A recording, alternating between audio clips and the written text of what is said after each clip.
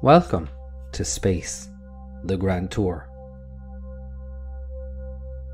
On this trip, we visit Mercury.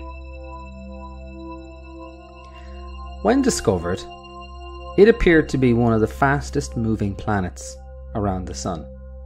For this, it was named after the Roman messenger god, Mercury. It was first recorded around the 14th century BC. Mercury is the closest planet to the Sun.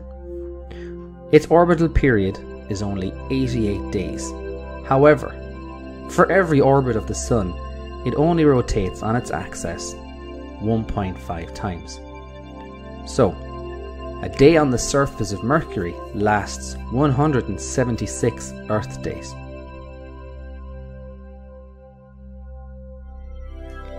Mercury does not have any moons or rings. It is the second densest planet, being composed mainly of heavy metals and rock. Only Earth is denser compared to Mercury.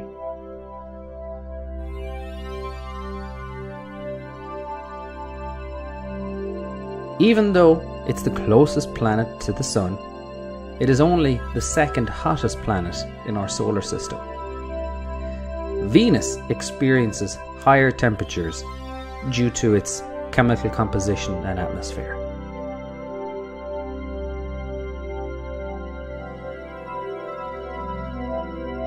If you were to visit Mercury, you would only weigh 38% of your weight on Earth.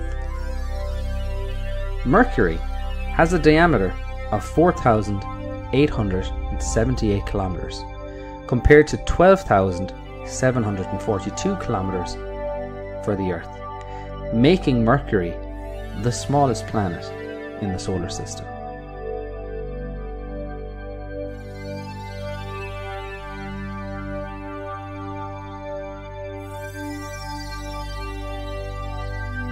These are but a few of the interesting facts, and I hope it inspires you to research more and find out more about Mercury.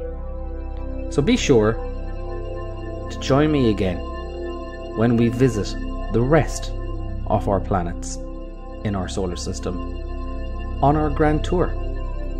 And thanks for watching, and I will see you in the next one. Bye bye.